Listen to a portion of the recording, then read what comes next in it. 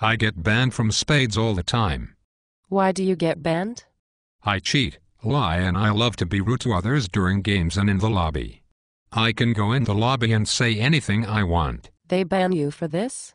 Yes but it doesn't matter because the host will not let anyone defend themselves so I am able to say anything I want.